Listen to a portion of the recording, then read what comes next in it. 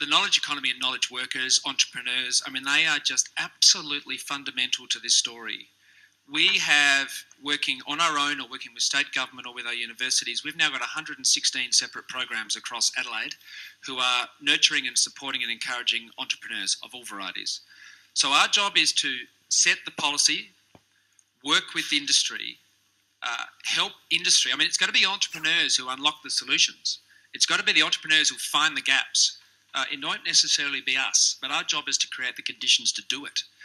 So we are, from what I've certainly learnt in Paris, uh, quite unique in Australia, whereby we have such a collaborative working relationship with our state government with regards to climate, uh, energy efficiency, clean energy, um, cost reduction, uh, productivity, uh, ecotourism, all these things which might seem a little bit disparate, but they're, they're very interconnected. It's very much, very much the same story.